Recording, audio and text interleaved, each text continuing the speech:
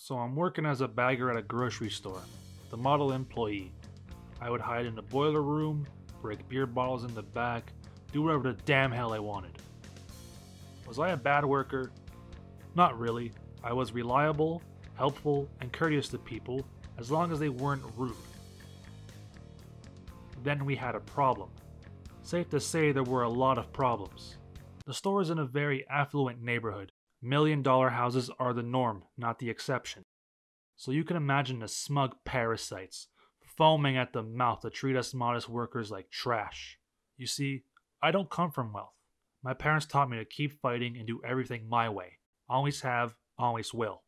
I don't bow before kings, let alone the filth that permeates the store. Anyways, a man approaches me. Nothing stuck out immediately.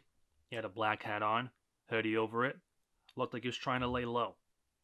He asked me in French, Excuse, monsieur, you sont les épices? Where are the spices, for those of you who don't speak the language? And as I was about to direct him to the spices, I got a good look at his face, and I thought to myself, I know this guy.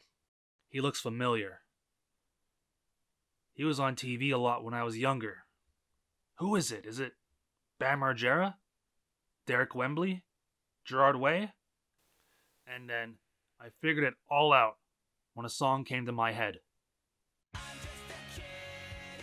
I knew it was Pierre Bouvier, the lead singer of Simple Plan.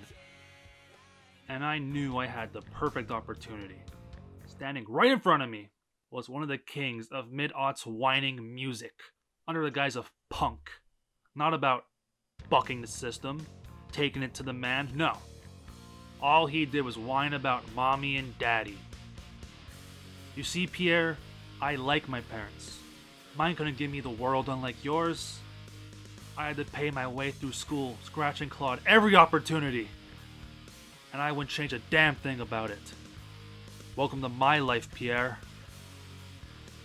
Anyone else would have begged you for a photo or an autograph, but that ain't me. You think I want your signature? That's worth what, $7 on eBay these days? No. See, it's not about you, Pierre. Yeah, you came into my store, my yard, but it's about what you represent.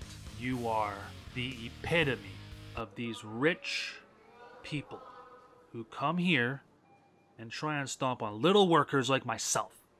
All you had to do, all you had to do was look up to the stars and see that sign. Aisle 3. You know what's under it? A piss. But no, what are you people gonna do without me? You need us. You need us. And you know what I did to prove that point? I sent him to the wrong aisle.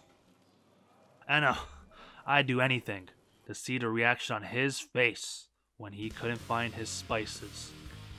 You see, I'm just a grown man, Pierre, and I hope I made your life a nightmare.